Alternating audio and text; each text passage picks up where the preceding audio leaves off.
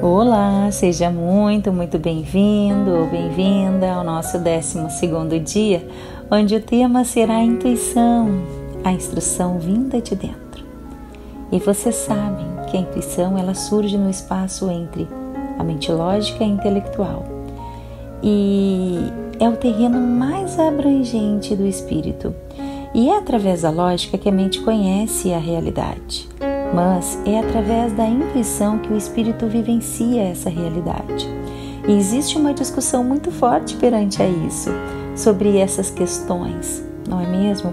E Osho diz que a intuição é de uma lucidez maravilhosa, às vezes é até mesmo engraçado e é muito envolvente.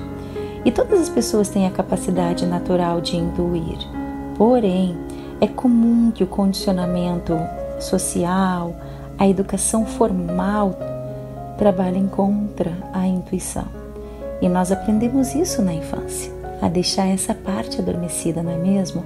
As pessoas elas aprendem a ignorar os seus instintos, palpites e pressentimentos, ao invés de entendê-los e usá-las como base para o crescimento e o desenvolvimento pessoais no processo.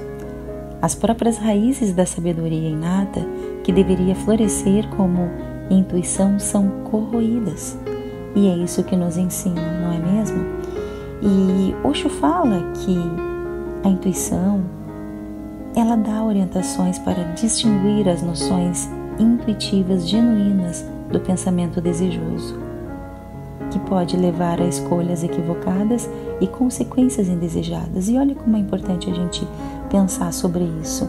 E a meditação de hoje, ela segue em uma técnica para você descobrir o espaço que tem aí dentro, que você costuma até mesmo chamar de testemunha, que é de onde vem a intuição real. E Bob Proctor sempre fala sobre as três ferramentas importantes para usarmos em conjunto com sabedoria, que é o raciocínio, a percepção e a intuição. Então, usando essas ferramentas juntas no nosso dia a dia, a gente vai desenvolver cada vez mais as nossas habilidades natas. E com isso, nós podemos ter resultados surpreendentes em nossas vidas. E há um fenômeno chamado intuição, do qual quase nos tornamos inconscientes. Não sabemos que algo como a intuição existe. A intuição ela é um fenômeno totalmente diferente da razão. A razão argumenta, usa um processo para chegar a uma conclusão. A intuição pula. é um salto quântico.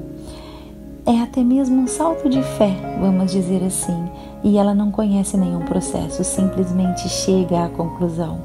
Muitos matemáticos conseguiam solucionar qualquer problema sem entrar no processo.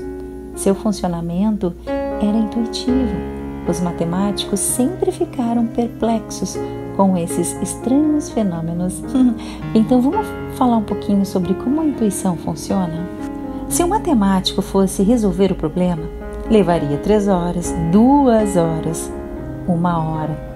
Até um computador levaria pelo menos alguns minutos para encontrar a solução, mas as pessoas intuitivas não levam nem mesmo um segundo.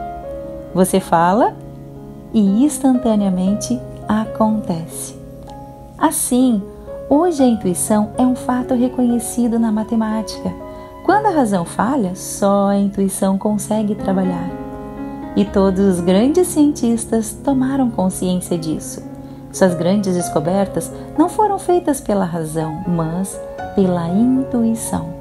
E Madame Courrier trabalhou três anos em um problema e tentou resolvê-lo por muitos caminhos. Todos falharam e certa noite, totalmente exausta, ela foi dormir e decidiu: agora chega. Desperdicei três anos, parece uma busca inútil, tenho que parar com isso. E este incidente é quase como Buda. No meio da noite, ela se levantou da cama e foi até a mesa e escreveu a resposta. Depois, deitou-se de novo e dormiu. Pela manhã, ela nem se lembrava, mas a resposta estava ali, na mesa. Não havia ninguém no quarto. E mesmo que houvesse, a resposta não seria possível. Ela trabalhara durante três anos, uma das maiores mentes de seu tempo, mas não havia ninguém. E a resposta estava lá. Então ela olhou com mais atenção e era a letra dela. Aí de repente o sonho veio à tona. Ela lembrou que havia sonhado que estava sentada à mesa e escrevia alguma coisa. Então, pouco a pouco, ela se deu conta e chegou à conclusão por alguma outra porta que não era da razão, e sim da intuição. Mas primeiro, a razão teve que ficar exausta. A intuição não tem processo, simplesmente pula do problema para a conclusão. É um atalho, e sim, é como um relâmpago. Porém, nós corrompemos a nossa intuição.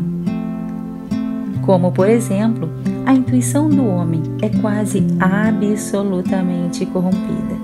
Mas a intuição da mulher não é tão corrompida assim. E é por isso que as mulheres têm algo chamado de pressentimento. O pressentimento nada mais é que só um fragmento de intuição. Só que a mulher não consegue dizer como é que isso acontece ela simplesmente sabe. Não há como. É só um palpite, só uma sensação nas entranhas, mas também é muito corrompido. E por isso é só um relâmpago. E quando abandonar as ideias fixas, porque lhe ensinaram que a razão é a única porta para chegar a qualquer conclusão, e quando você abandonar essa fixação na razão, a intuição ela começa a florescer. E aí sim, ela não será mais só como um relâmpago, e ela será uma fonte sempre disponível. E você pode fechar os olhos e ir até ela, e sempre você vai receber dela a orientação correta. E existe um processo realmente por onde começar. E é algo muito difícil para algumas pessoas, porque precisamos trabalhar camadas muito, muito importantes, que muitas vezes podem doer para esse crescimento, porque elas precisam ser atravessadas. E eu acredito que muitas pessoas não sejam capazes disso, mesmo aquelas que já fazem terapias, enfim. Mas a ideia aqui ela é perfeitamente correta. Se aquelas camadas importantes forem rompidas, surge em você algo que você pode ser chamado de guia. Você sempre pode entrar em sua energia de intuição e sempre vai encontrar o conselho correto. No Oriente é o que chamam de guru interno, o mestre interior. E depois que a sua intuição ela começa a funcionar, você não precisa mais pedir conselhos a nenhum guru externo. A intuição tem que estar afinada com a pessoa totalmente afinada com ela. E é a partir desta afinação que as soluções surgem do nada. Gratidão por assistir a mais essa aula comigo e nos vemos então na nossa meditação. Namastê!